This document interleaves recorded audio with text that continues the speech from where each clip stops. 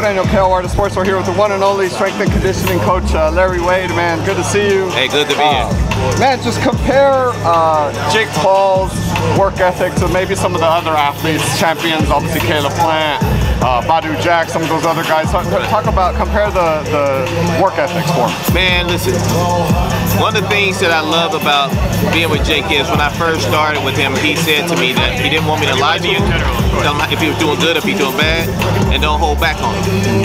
And I haven't. I treated him just like this any other world champion now. Understand that's development. Even with all those guys that you mentioned, I've had to help develop them up over the years. But based on where he's at, he's done everything I've asked him to do. He didn't complain. He did it at a great level, not just did it, he did it at a high level, finishing the work. So I'm very excited for him in this fight, and I'm also very excited about the future for him because he can, he can go a long way in this sport. Man, uh, I mean, obviously he's doing big things, right? This is like, uh, you know, his sixth fight, and all of them have been pay-per-view, I feel yeah, like. Yeah, That's kind of yeah. crazy. Uh, man, I just want to get into what happened last week. Terence Crawford versus Errol Spence. What, oh tell me what you saw. First of all, Terence Crawford put on an amazing show. Amazing show. I looked at it as a 50-50 fight going in. Some days I was Terence, some days I was Errol because I felt like it was such a great fight. You know, but what Terence showed that night is not only his athleticism, but also his his huge ring IQ. Also, all the different tools he has in that tool chest, man. I mean, every tool you need is in there, but he can use it whenever he wants. So uh, he showed that. He showed his, his, ability to be poised in very tough situations and come out on top. Man, listen, if this guy hasn't shown the world that he's clearly one of the best ever in the sport, then I don't know what to say. You know, one of the things that I saw in Terence before, when Terence fought Shawn Porter, and I was in Shawn Porter's camp, I saw one of the round, I think around 10, someone told Terence he was behind on the cards. I'm looking in the corner trying to look at Terence to see if he's getting tired. And he looks over, and I'm thinking he's looking at me, but he's looking at Terence. I mean, looking at Shawn, and I'm saying, oh shit. He came out that corner, walking I saw that, I knew it was going to be a long night. Unfortunately, we didn't get to win that night, but what that did was just show the levels in which Terence can take it if he needs to. I applaud the young man. I do want to comment on one other thing, though. Errol Spence didn't have the night that he wanted, but we've seen what Errol can do.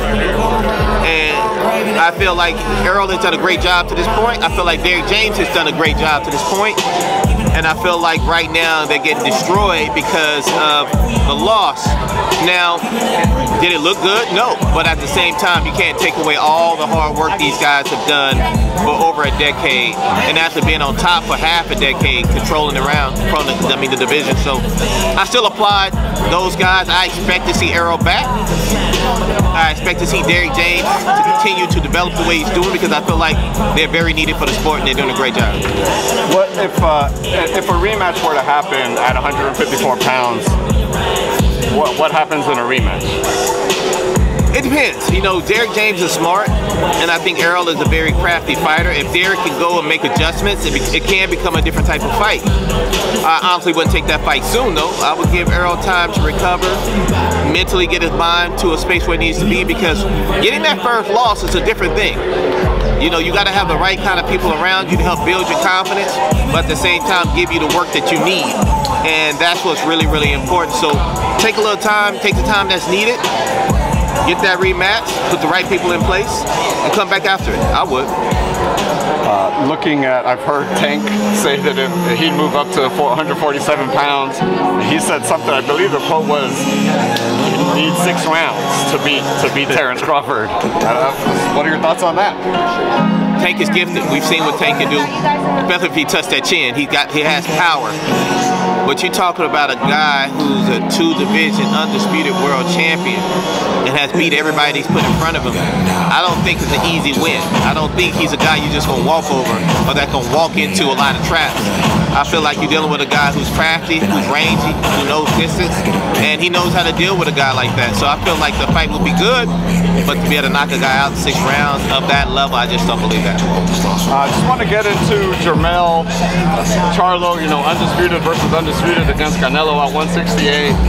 What does Jermell have to do to be successful in that fight? Be Jermell. I feel like Jermell has gifts. I feel like all he has to do is be himself. Uh, don't get caught up into Canelo's games because Canelo is very crafty with a great IQ.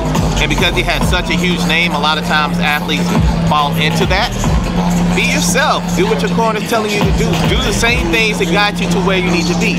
Make the proper adjustments based on what you know Canelo can do. But be you.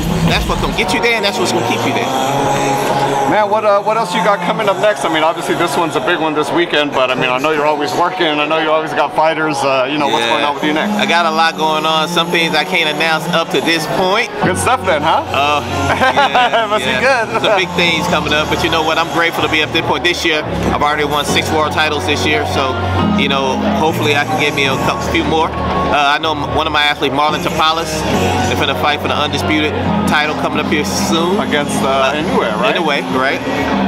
that's, that's coming up. you know, one. that's a big one. Yeah, yeah, yeah, yeah. So we got that, you know, undisputed title coming up soon. But there's a lot of things on the works.